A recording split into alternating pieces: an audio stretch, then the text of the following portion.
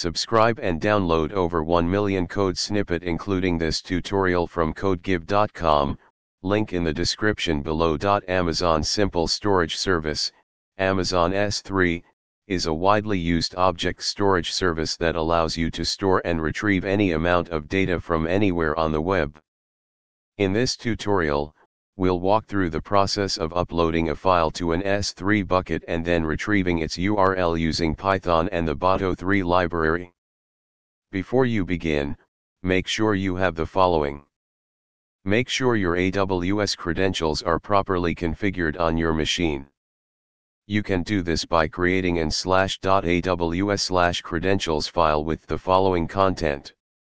Replace your underscore access underscore key underscore ID and your underscore secret underscore access underscore key with your actual AWS credentials. We need to install the required library, Boto3, if you haven't done so already. Now, let's write a Python script that uploads a file to an S3 bucket and retrieves its URL. Replace the placeholders, path slash to slash your slash file dot text, your S3 bucket name, file dot text, with the actual local file path, S3 bucket name, and object name, respectively. This script first uploads a file to an S3 bucket and then retrieves the URL of the uploaded file.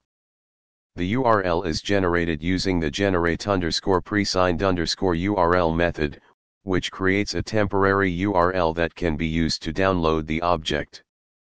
Remember to handle exceptions appropriately in a production environment, and ensure that you have the necessary permissions for S3 operations. ChatGPT